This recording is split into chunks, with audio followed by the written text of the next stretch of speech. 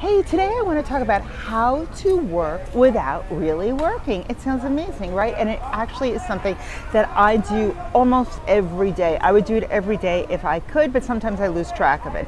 It's simply taking a little time off to take a break and using one of the best tools you have. The Note app on your phone, or if you're a pen and paper kind of person, just using a little notebook that you keep with you. So that what I like to do is walk away from something when I'm doing it and take some time to brainstorm while I'm doing something else, while I'm looking for inspiration, while I'm sitting right in front of this big old banyan tree in Florida. So what you do is you walk around and you get inspired and when an idea hits you, you simply either write it down in your notebook, you write it down on the app on your phone, or you use the voice recorder and you put it in there. And as you do this on a regular basis, you start to see and collect all these amazing ideas that really help you in your work, that really help you find a better solution than if you were sitting there and tearing your hair out trying to figure out how to do it. So the best way to work without really working is to go out, step away from it all and take notes so you don't forget. And sometimes if your best ideas happen in the middle of the night,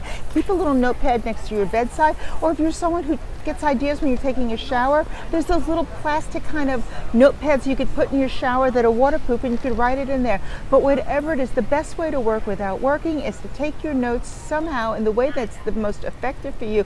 Write them down when you're not thinking about it and come back to this great list and you'll have so many more ideas. I hope this helps you. I'm Sharon Haver, and this is today's Focus on Style tip. For more, don't forget to subscribe in the link below. See you soon. Bye bye.